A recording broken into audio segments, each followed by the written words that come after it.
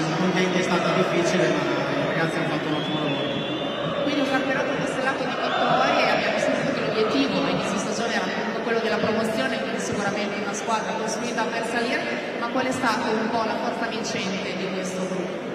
Beh, siamo riusciti a costruire un gruppo